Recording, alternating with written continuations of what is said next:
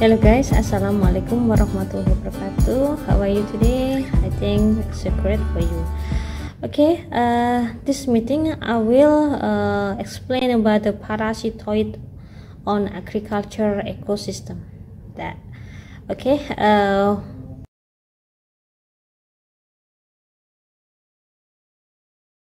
Okay guys, this meeting we will discuss about the parasitoid on agriculture ecosystem. Okay. Uh, at the first, we must uh, know about the important order of parasitoid in insect class. Okay. Uh, at the first uh, important order is uh, Hymenoptera. And it is uh, the list of the important uh, family of Hymenoptera. At the first, we have a Scelionidae, Encrididae, Braconidae, Chalcididae, Apellinidae, Trichogrammatidae, Nemaridae, Pneumonidae, and the end is a Scoliidae. And second uh, order, we have a Diptera. There are two uh, important uh, family in this order that uh, be a parasitoid. At the first, we have a Tachinidae and Poridae. Okay, at the first, uh, we talk about the Hymenopteran parasitoid. Okay, Hymenopteran uh, is uh, the insect of the bee, wasp, and uh, etc. is a common in a agro ecosystem.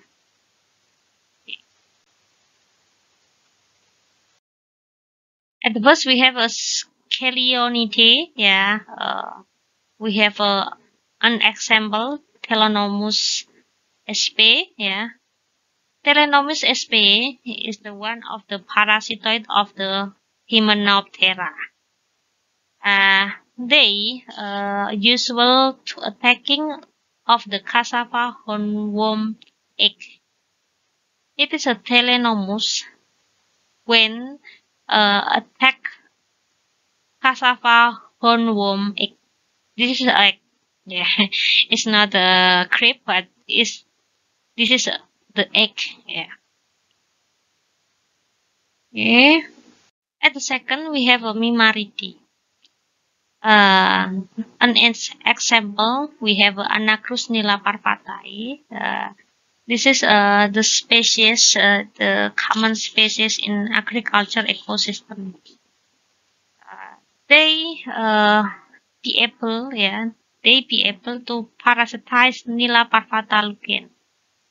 That you know, uh, Nila parvata lichen is a brown plant hopper. Yeah, they attack.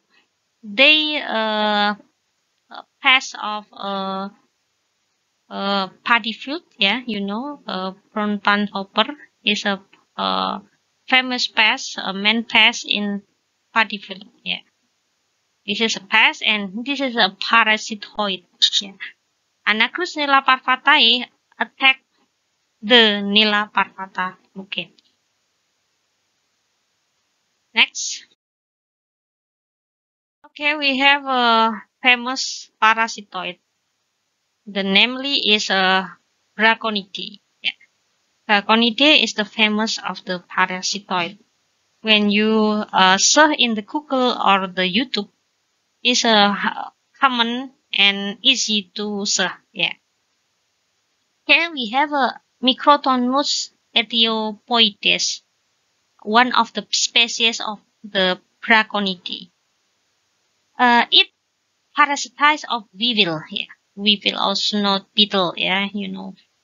In Indonesia we call it a uh, kumbang moncong. Yeah, because the mouth is uh, uh, yeah they have a long mouth. Yeah.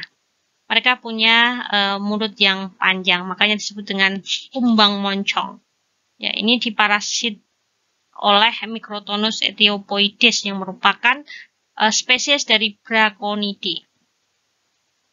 and then it's a famous famous uh, picture I think Braconidae yeah.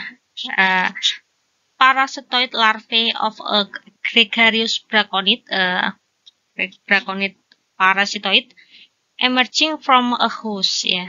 Uh, it is a caterpillar yeah. Hornworm yeah. Hornworm a caterpillar it uh, parasitized by uh, braconid so it is uh, not not their offspring but it is a parasitoid of the braconidae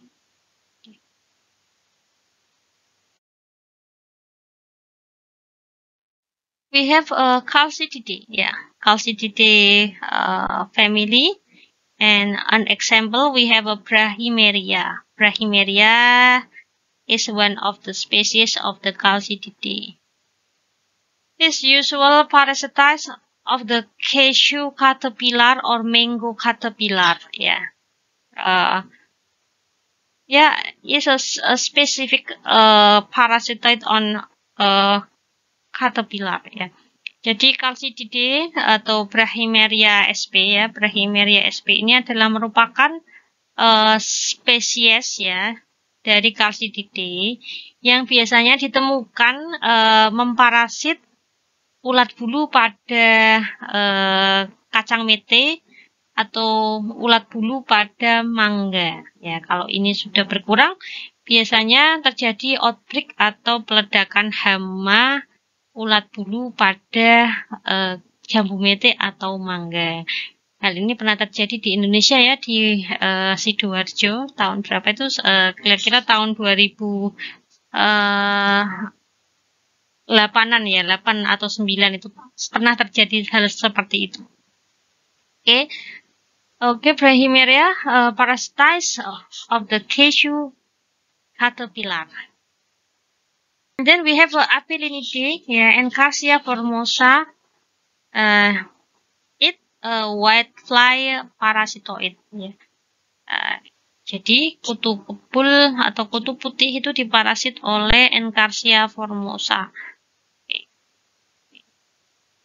Next, Trichogrammatidae, ya, uh, the family of Trichogrammatidae. We have uh, an example Trichogramma austriniae uh, is uh, usual to parasitize the corn borer. And example, uh, Trichogramma austriniae parasitize the corn borer egg. So it's not the egg of the uh, Trichogramma, but the egg of the corn borer.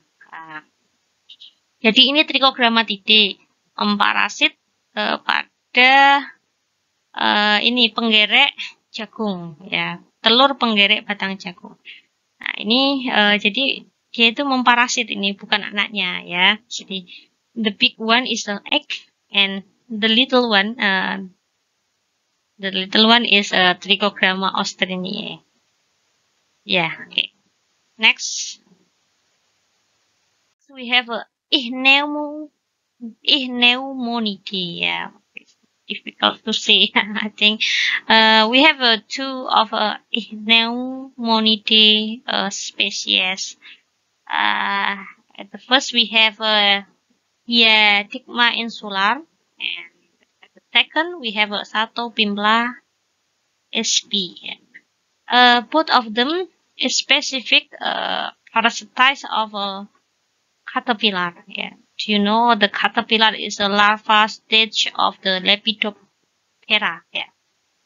Or butterfly, or you will say the moth. Yeah. Yeah. Uh, Diadema insular. Yeah.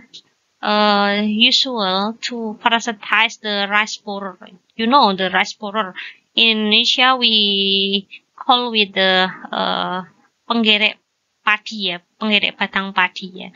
Jadi diadekma insular itu sering memparasit uh, penggerek batang padi.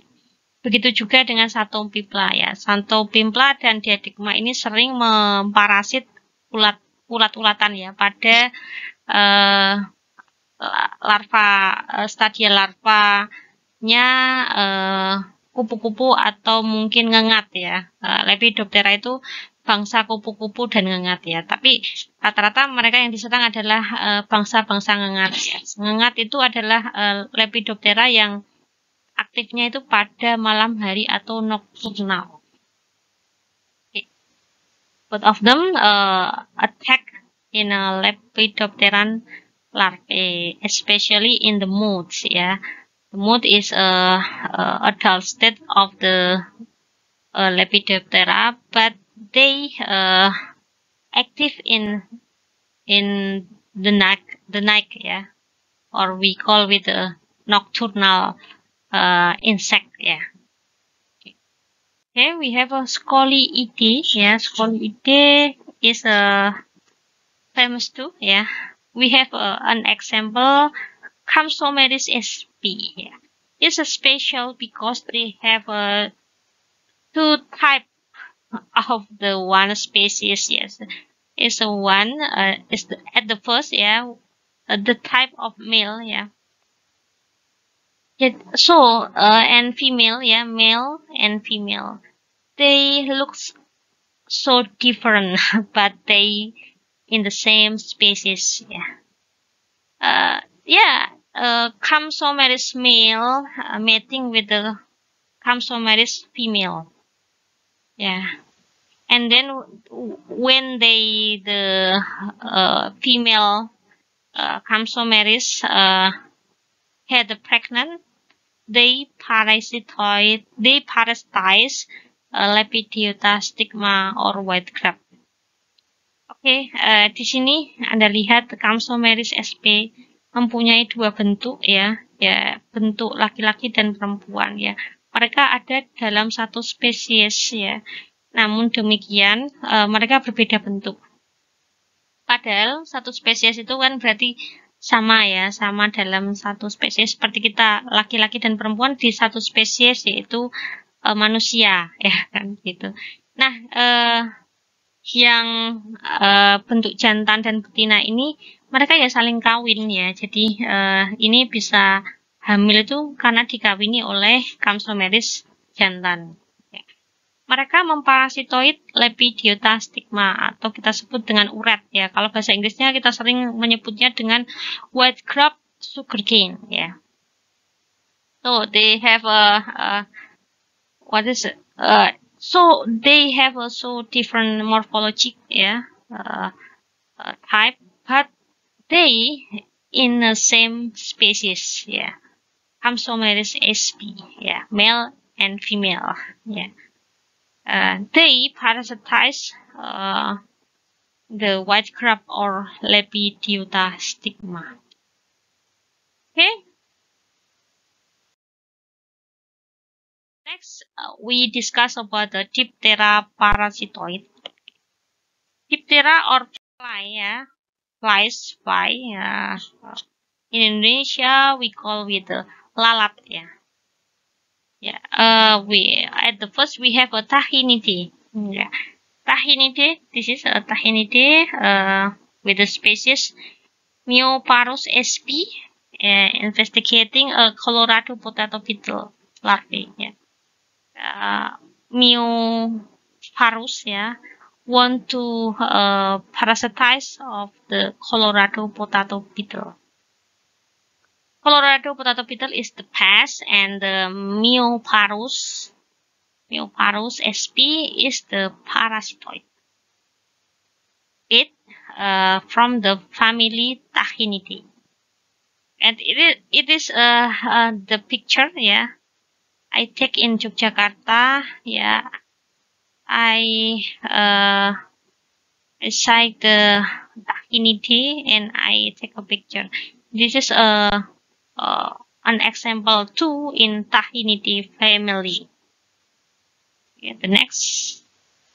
We have a uh, Porite. Yeah, Porite is the one of the uh, family of the uh, Diptera yeah.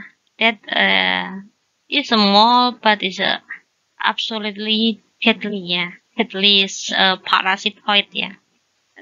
Uh, Polity yeah uh, is a small but can parasitize ant soldier. Yeah, this is ant. Yeah, ant soldier. I think it's it's not too big. Yeah, it's it's a small too, but Poridae is uh, smaller than ant soldier, but they can be parasitized uh, ant soldier. So uh, don't uh, you you you must be careful with the small one. yeah, it's Poridae. Yeah. Okay, next. Okay, uh, when we talk about the parasitoid, uh, they have uh, several types of the parasitoid. At the first, we have uh, infection location. Second, the number of the parasitoid per host. And the last, characteristic of parasitism in the host. Okay, uh, we talk about the at the first type, uh, infection location. Consists of the one uh, internal or we call it the endoparasitoid. The second external we call it the exoparasitoid. Next slide, I will explain about it. At the second type, the number of parasitoid per host, we have a uh, three type. At the first, we call with the solitaire. At the second, we call with the gregarious, and and third we call with the polyembryonic polyembryonic yeah at uh, the third or the last we have a characteristic of parasitism in the host we have two types yes diobion and coinobion next okay we have a parasitoid that infect to the inside body of host. We call it the endoparasitoid. This uh, infected to inside the body. This we call it the endoparasitoid. And the next Okay, it is an example of the exoparasitoid. Exoparasitoid, uh, when the parasitoid uh, uh, parasitize but in the outside of the body of the host. Yeah, we call it the exoparasitoid. Yeah. It's a an example tahinite. Yeah, uh, uh, it lying on lying the egg on the body of the caterpillar. Yeah, it is outside. Yeah, uh, infection infection in the outside, not inside. Yeah. Okay, we call it the exoparasitoid. At the next, uh, we have a solitary parasitoid. We uh, call with the solitary when the one egg in the on the one host yeah. One egg one host it called with the solitary.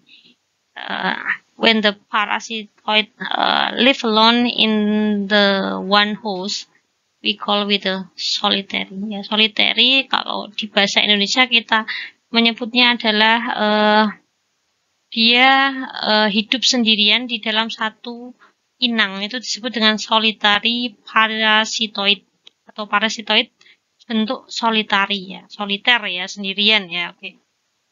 Okay, next.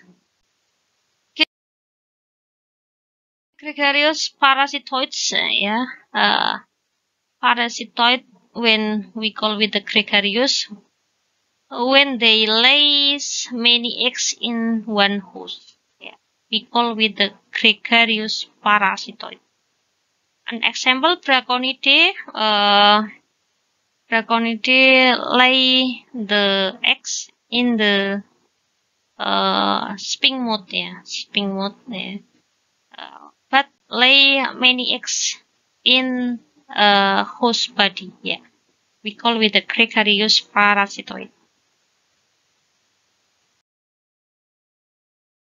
At the next, uh, there is a polyembryony one parasitoid uh, one parasitoid egg become hundred in the host. Yeah, just uh, just lay laying the one egg, but uh, uh, it shall become a hundred egg. Yeah, so uh, is an example Calcididae offspring multiply in the body of the host Pepper Vespidae wasp family.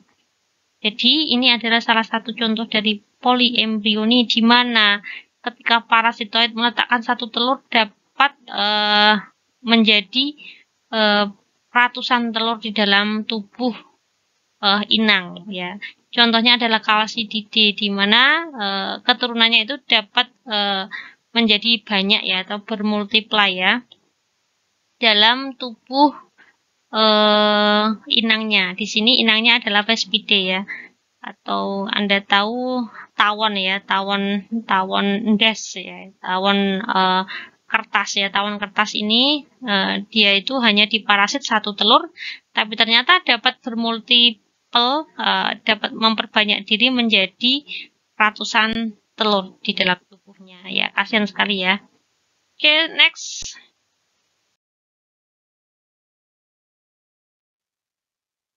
Okay, characteristic of parasitism. At the first we call with the Ethiopian. The Ethiopian characteristic at the first, yeah, attacks the egg, pupae or adult stage, making the host unable to develop. Ya, jadi dia menyerang telur, pupa dan uh, stadia dewasa atau imago dan membuat uh, host itu tidak dapat tumbuh, ya, tumbuh berkembang, ya, menghambat pertumbuhannya. Second, in exoparasitoids, parasite until the host dies, ya.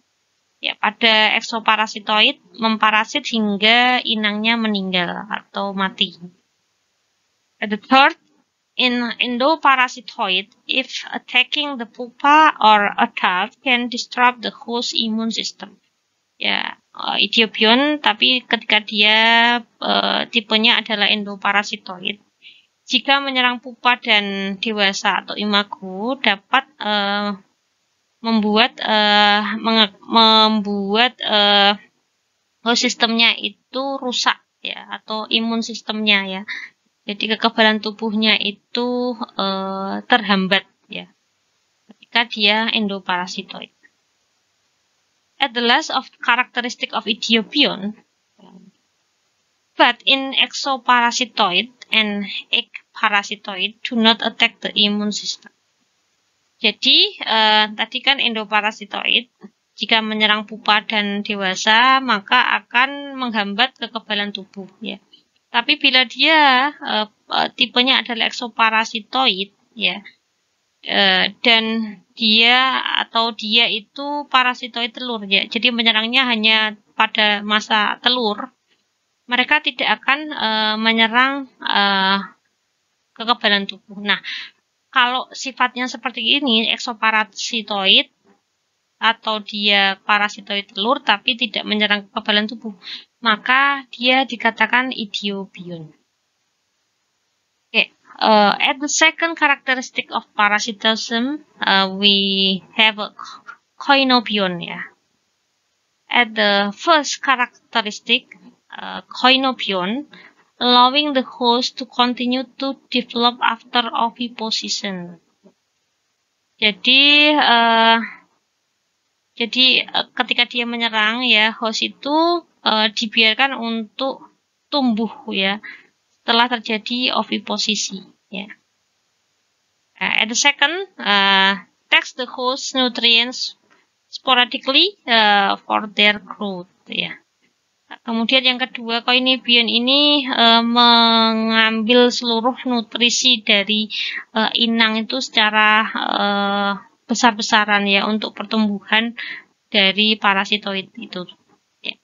Kemudian yang ketiga, oke, okay, at the third, attacking the host immune system. Ya, koinobion uh, have a characteristic they absolutely uh, attacking the host immune system yeah, uh, although they exo or endoparasitoid. Yeah, So coinobion is uh, absolutely attack the host immune system. Uh, it's uh, different with the Ethiopian. They attack uh, immune system when they endoparasitoid, yeah. Uh, but uh, must be uh, attack the pupae and adult. Uh, but in uh, and others is not uh, attack in the immune system. Okay, the next. Yeah.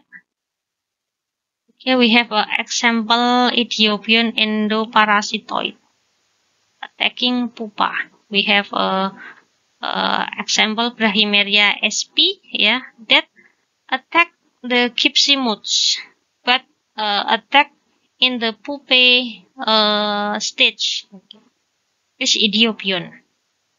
Okay, and next. Okay, we have uh, Ethiopian, yeah, Ethiopian. Uh, uh, when uh, the host in the egg stage or pupae, they uh, have a characteristic with the endoparasitoid type.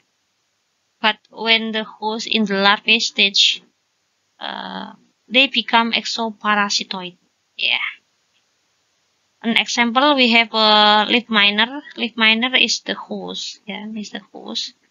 It, it is a larvae stage and then the parasitoid Symbiosis marylandensis uh, had become the exoparasitoid yeah, because they attack in the outside of body of the live miner larvae. This Ethiopian. Okay, the next Coinobion, yeah, Coinobion endoparasitoid on the larvae, yeah, yeah, endoparasitoid on the larvae. Draconid uh, parasitized pink moth is the example of the Coinobion endoparasitoid. Okay. Next, okay, uh, the next we uh, discuss about the parasitoid and non-pest insect host. Yeah. Uh, okay, there are some uh, several parasitoid that attack uh, non-pest hosts. Yeah. Who they are? Yeah, who they are? Okay. Uh, we have a three example. Uh, because uh, sometimes they attack non-pest uh, target. Yeah, it's like a Chrysididae have a shiny body. Yeah, have a shiny body. We have a Chrysididae family and we have a, an example crisis SP yeah. And the next we have a Mutilidae yeah. Mutilidae uh, have a two type uh, morphologic uh, body uh, female and male but in one uh, species yeah. We call with the velvet end yeah velvet end yeah you know velvet end because uh, when the uh, female adult Right. The body is, like a velvet. Yeah. Uh, velvet is mean uh, in Indonesia we call it the bludru ya. Jadi tubuhnya seperti bludru maka disebut dengan semut bludru. Punya dua bentuk uh, morfologi untuk uh, betina dan jantan. Ya. Yeah. And then we have a Bombilidae ya, yeah. Bombilidae ya. Yeah. Bombilidae is a fly. Yeah but they are parasitoid and sometimes they attack non-pest target. Ya.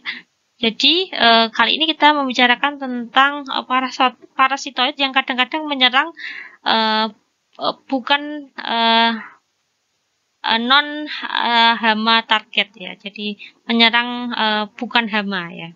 Itu ada Crassididae, Bombilidae dan Mutilidae. Nah, Jadi uh, actually uh, sometimes they attack like a caterpillar yeah, like, like caterpillar like aphid and etc but sometimes uh, they can be attack the bee honeybee, uh, stingless bee, or uh, carpenter bee. Yeah. we can we can look this slide. Yeah. So non-pest parasitoid target. Yeah, it is they are not the pest, but sometimes they parasitize by by the parasitoid. Yeah. Jadi seperti honeybee, like a honeybee, pepper wasp, and caterpillar. It's not a pest, but uh, sometimes they they infected by parasitoid. Ya. Jadi ini saya uh, uh, perlihatkan slide ini bahwa kadang-kadang beberapa parasitoid tadi yang saya sebutkan seperti ada di Chrysilidae, Multilidae, dan Bombilidae itu menyerang uh, non hama target ya seperti ada uh, lebah madu, ada apa uh, tawon uh, kertas ya, kemudian ada uh, carpenter bee ini seperti uh, yang tadi slide pertama ya. Slide pertama non pest target ya, non pest target itu gambarnya adalah uh, carpenter bee. Ya, itu itu mereka adalah rata-rata adalah polinator atau mungkin lebah-lebah uh, yang diternakkan untuk diambil hasilnya. Tapi kadang-kadang masih juga terkena parasitoid. Nah, makanya yang tadi saya contohkan di depan ya, ada Crassididae dan lain sebagainya itu adalah contoh-contoh parasitoid yang kadang-kadang menyerang uh, non-hama target ya, itu. Oke, seperti itu.